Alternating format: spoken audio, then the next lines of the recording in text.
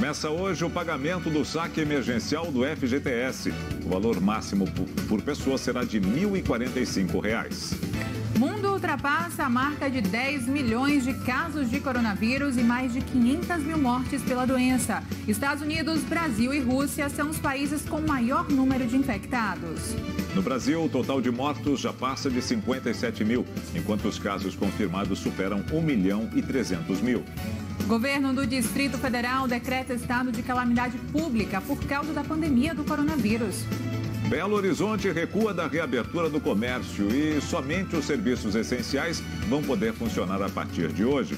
Em São Paulo, o prefeito Bruno Covas permite que clubes sociais e igrejas católicas reabram na capital, mas com restrições. A Prefeitura do Rio muda planejamento inicial e libera jogos do Campeonato Carioca com público a partir de 10 de julho. Em Minas Gerais, protocolo de segurança é negado e retorno do campeonato é adiado.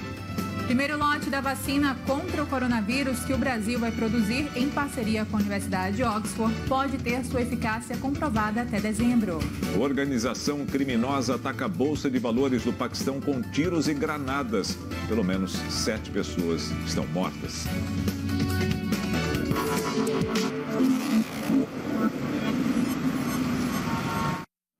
Muito boa tarde a você. Está começando o, o manhã. O manhã, Band News. Tarde, Band News. Não, não, não. Tá Segunda-feira, tá tudo certo. Band News no meio do dia. É, por tantos anos fazendo tarde de Band News, a gente ainda costuma com tarde de Band News. Band News no meio do dia. Lene. Localizados? Agora sim. Boa tarde, Nelson Sintonizado, sintonizado né? sim. boa, boa tarde a você também.